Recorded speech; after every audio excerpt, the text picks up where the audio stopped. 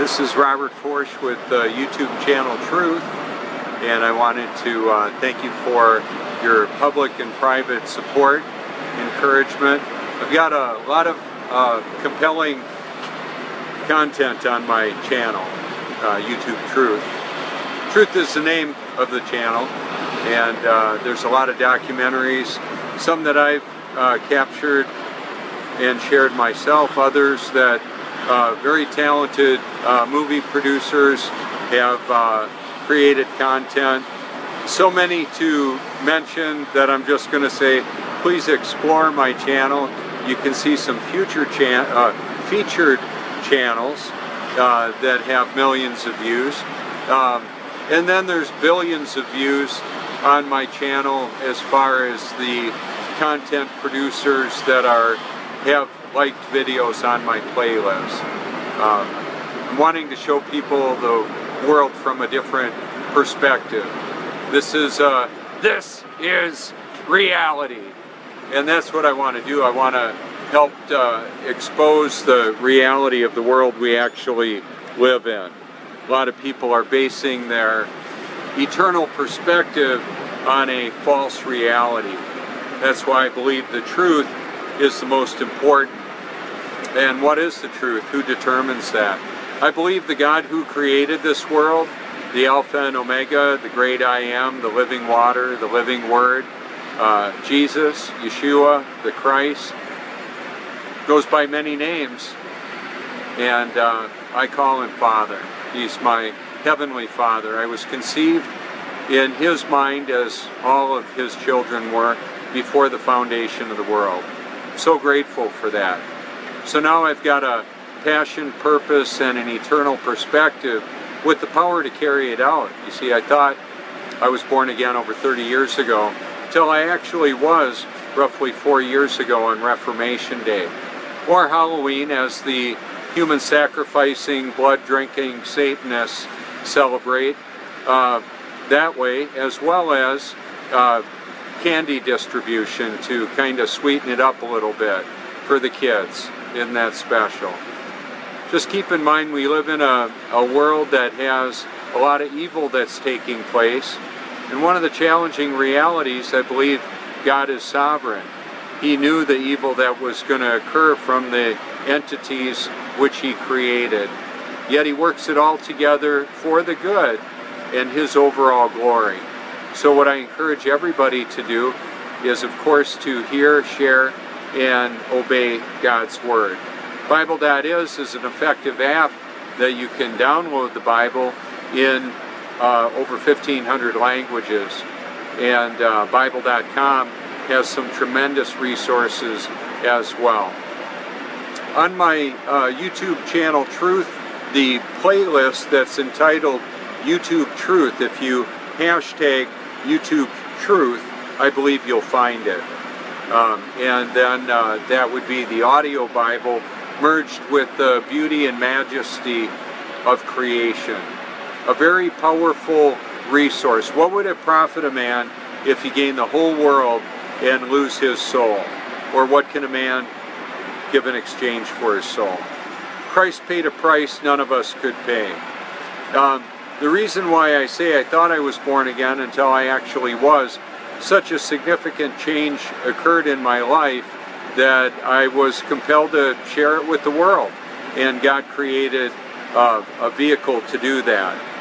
Yeah, the Truth Mobile, the 94 Lexus, uh, and, and more.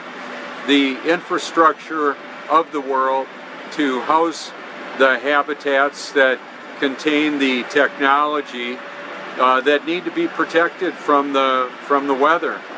Uh, smartphones, computers, all of that, and then the interconnectivity of the internet. A powerful reality to consider to be sure.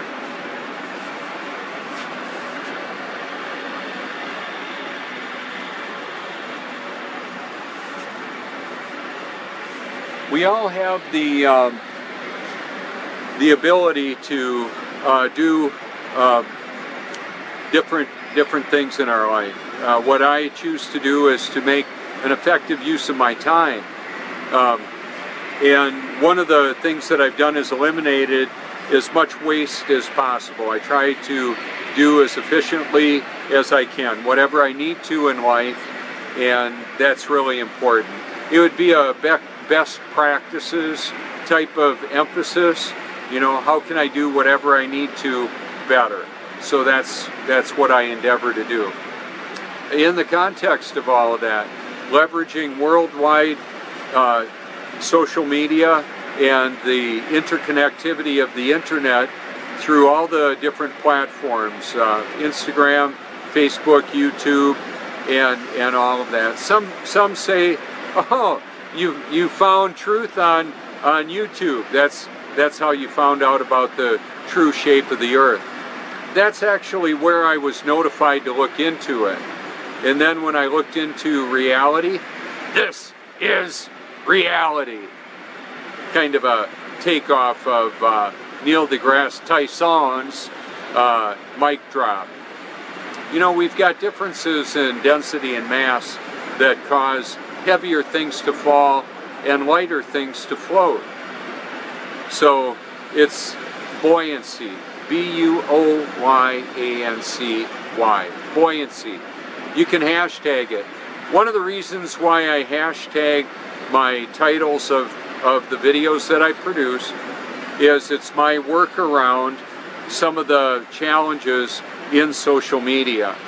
And, and that would be if I directly uh, copy and paste a link, it may get blocked or, or not posted.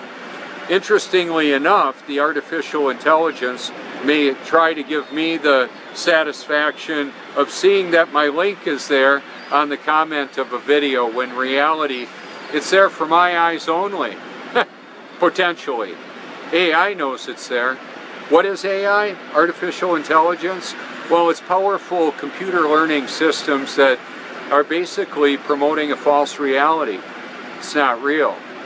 Um, the trips to the moon and Mars and and planets beyond and all the different cosmology that's being um, promoted and perpetuated by NASA is basically a false reality. And then we've got Hollywood that undergirds that with a lot of distraction and entertainment. And then we've got uh, comedians to help us yuck it all up. In fact, they were making fun of yours truly. Uh, who are they? Well, PewDiePie is one of them, uh, the most subscribed YouTube channel in the world. When he first made fun of me, for about a third of his first video on Flat Earth and others, uh, other very talented, uh, informed individuals, I might add. Uh, when he first did that, he had 61 million subscribers. Now he's got 75 million subscribers. Just take a look at the counts of uh, how many people have, what the subscriber count is for the different channels. I think you might find that kind of interesting. He is the most subscribed YouTube channel in the world. If you explore my content, uh, I believe you'll find that I gave him plenty of content to make fun of. He had a meme review. I had plenty of memes I sent him. I sent him my Facebook and YouTube presence, my channel and my page. Now he didn't even mention me in his meme review, even though he uh, mentioned me in his first video. And some of the content that I had uh, for the memes, uh, he actually used less powerful content from other people. That being said, I'm not, my feelings aren't hurt. I, I appreciate all the views. Uh, now that I wear a, a shirt that says YouTube Truth, I actually get a lot of people coming by there and uh, views and subscribes and likes and that from people that have seen the Truthmobile, uh, the car I drive around, uh, as well as seeing me in public on the beach, wondering what I've got going on. So in the context of this, looking at the beach renourishment is a pretty powerful reality to show. I mean, we've got water seeking its level all over the face of the earth, Let's take a look at that zoomed in a bit. high-powered uh, diesel engines uh, pumping the water uh, and sand up on the beach. And of course the water just goes back out to the ocean, no problem. Uh, the ship and pump system transfers approximately 1,500 dump truck load equivalents in under an hour.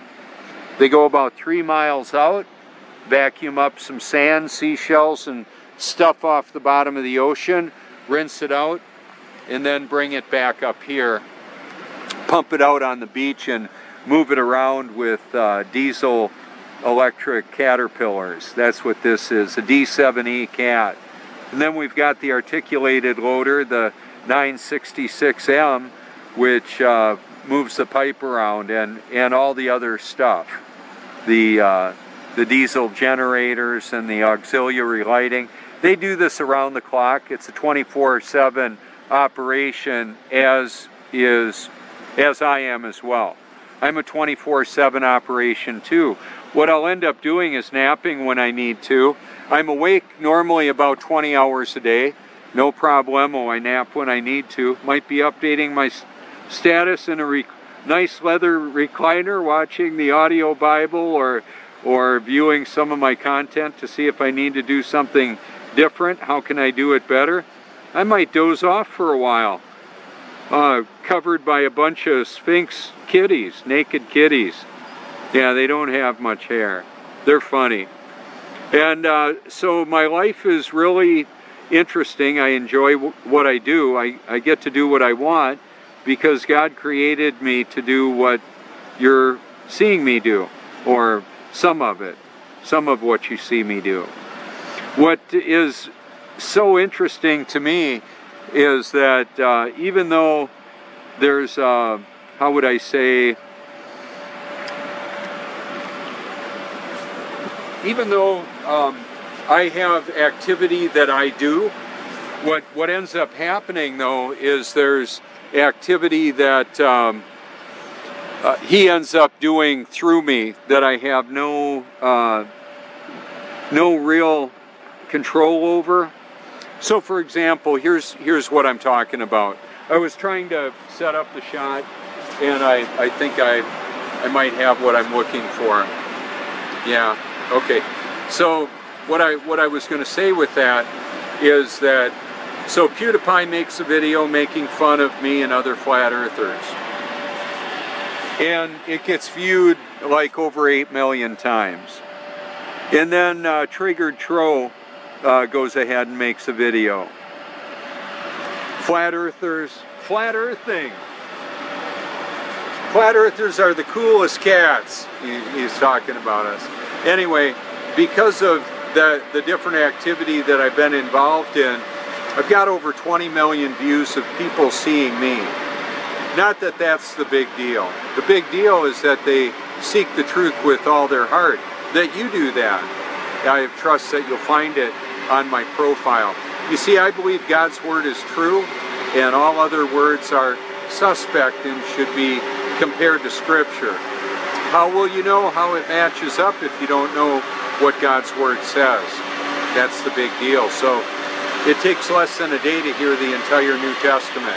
19 hours. For gosh sakes, I'm awake more than that.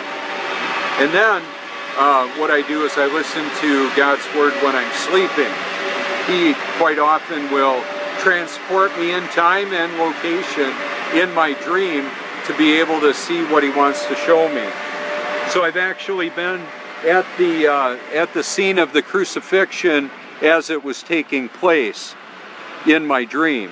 Pretty fascinating. Has that ever happened to you? You know, that's uh, that's actually a really big deal.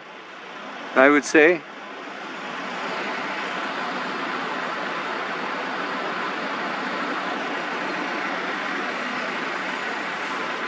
What was interesting about that too is I had an awareness that the crucifixion needed to take place and that Christ paid the price that none of us could to provide uh, forgiveness that we needed. I was uh, I was a spirit. I was a I was a walking spiritually dead man. spiritually dead, dead man walking, spiritually speaking. Much of humanity is. They're, they're dead and they don't know it. Much like I was. Thought I was born again until I actually was. That should give people pause. They should consider what, what's up with that. Well, you see, I was baptized multiple times. I invited Jesus into my heart many times, uh, rededicated my life many times. Why? Why would I do that? Well, I did that because I was struggling so much with sin that I was told I should be set free from, according to Scripture. All things are new in Christ. I wasn't living that. I, I didn't realize that for myself personally. I saw it happening with others and I thought, where's mine? why, why is that not happening for me? Well, and I found out why. I didn't have the power of the Spirit because I didn't have the presence of the Spirit in my life. There's a, I want to illustrate a, a very important distinction between being a child of God and being born again. Um, all of God's children will absolutely be born again at some point in the human experience. Uh, the Apostle Paul, on his on the road to Damascus, did he slip his hand up and invite Jesus into his heart? No, he was knocked off off of his horse. He was blinded by a light brighter than the sun. And then uh, he encountered the living Christ that gave him new life. And let him know that he was he was wrong in persecuting and having Christians martyred. So he was a changed man, obviously. So his life, he was a child of God from uh, eternity past, or whenever God spoke his, him into existence, like he did me, and then I was matched up with a body at, at some point in my human experience, or my eternal uh, experience. I was born in 1961, conceived in the mind of God well before that. I'm grateful for that. Um, Satan's children aren't going to want to be born again. Um, I don't know who's who exactly, because there there are people that are practicing Satanists. Uh, they may be doing some very wicked things to innocent people uh, young children, babies. They may be an abortionist. They may be a, a Satanist, um, a Scientologist. There's a lot of ists. there's a lot of religions. There's there's a spiritual uh, smorgasbord, a cornucopia of efforts to reach uh, spiritual awareness or um, being awake. And so there's a lot of people that have a, a different perspective on this. I'm unapologetically biblical. I believe, like I say, God's word is true and all others are suspect. So I enjoy listening to God's word and or meditating on it day and night around the clock. With the mobile technology that we have, uh, it's amazing. I've got a, a mobile computer right here, uh, an iPhone 10. I go live on Facebook and YouTube with it. And it's amazing to have the technology to do that.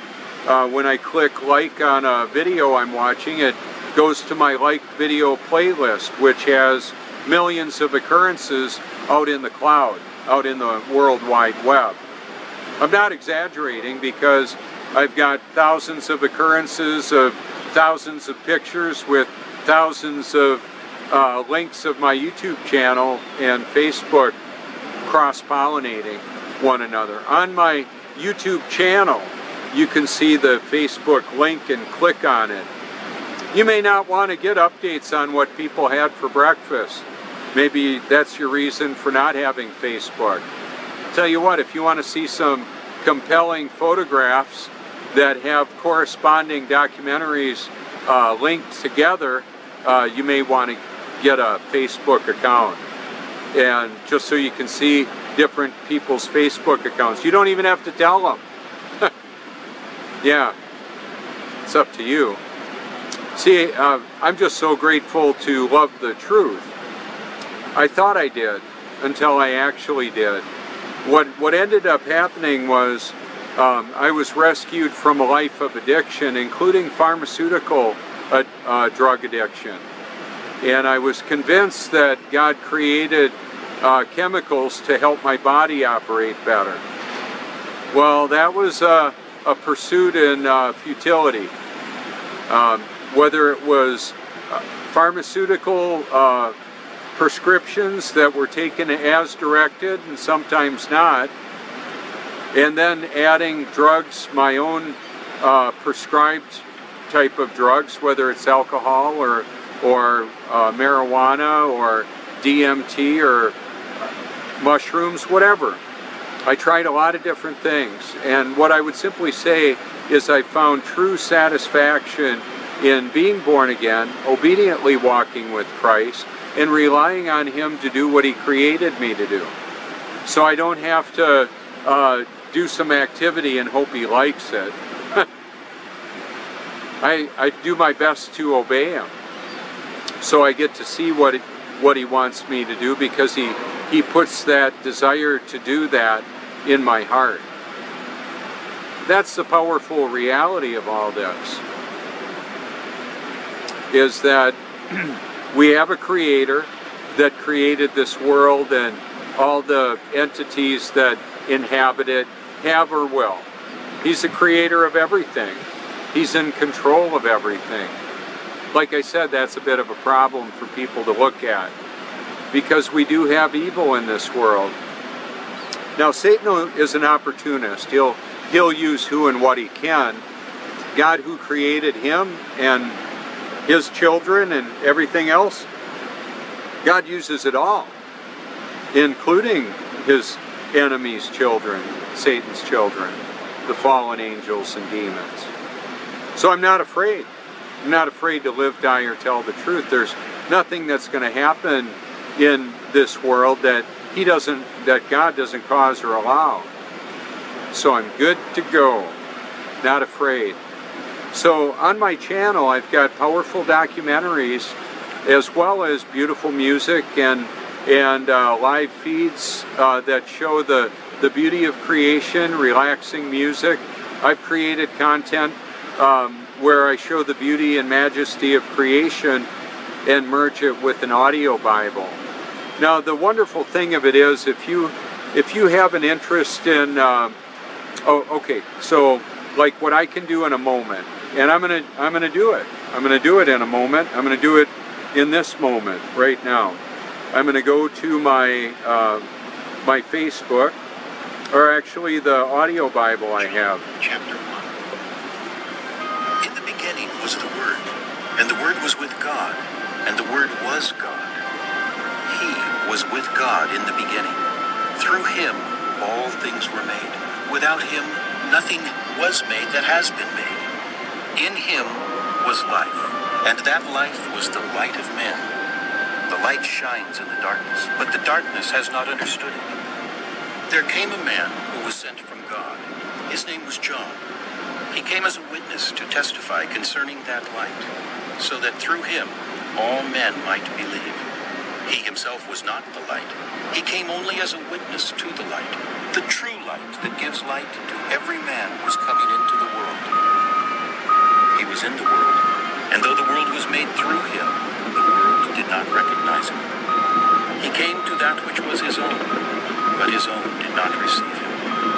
Yet, to all who received him, to those who believed in his name, he gave the right to become children of God Children born not of natural descent, nor of human decision or a husband's will, but born of God.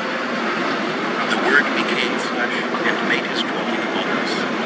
We have seen his glory, the glory of the one and only, who came from the Father, full of grace and truth. John testifies concerning him. He cries out, saying, This was he of whom I said, He who comes after me has surpassed me because he was before me. From the fullness of his grace, we've all received one blessing after another. For the law was given through Moses. Grace and truth came through Jesus Christ. No one has ever seen God. But God, the one and only, who is at the Father's side, has made him known. Now this was John's. So the the real benefit that being able to listen to God's Word like that is that I take this mobile and um, I know some people don't like the cord that you have to have uh, to, to listen with headphones, but I have uh, the AirPods, uh, Apple AirPods. I can listen to the Bible that way. I can just uh, lay next to it when I'm taking a nap and uh, hear it on the speaker that was on this. Uh, the other thing too is that I've got a Bluetooth speaker that I can activate and play it through that and have enough volume to hear it very comfortably as I'm sleeping or almost sleeping. I, I remember where it used to be that I thought, gosh, I can't get to sleep. I don't have that problem anymore. it's like sometimes I'll wake up, uh, find myself sitting in the chair. Oh, I took a nap for a little bit, or I, I was out on. I would be out on the beach and uh, doing some photography or videography, and uh, or broadcasting the Bible live. I've done that hundreds of hours of that, and I would wake up and I had taken a little nap. What I was going to say too is that there's the a device called a Google Chromecast. There may be other tools and ways of doing this. I'm able to broadcast my YouTube channel or my desktop from my computer on the uh, television. That works out really good. You can go to Walmart. I'm not anti-Walmart. Um, I'm I'm encouraging people to hear, share, and obey God's word. I use the technology. Um, Steve Jobs, where is he now? I don't know. He may be uploaded himself to the internet. Uh, Elon Musk talks about a neural lace, and we've got transhumanism, and and apparently they're able to do that. I don't know for sure. What I would simply say is I'll use whatever means I can. I've got multiple Bible translations on here, so even though they maybe don't have uh, Bibles in a lot of the rooms, potentially they've got them everywhere there's a person with a cell phone. Um, yeah, and that's how that works. That's why I'm I'm grateful for that to be alive at such a time as this.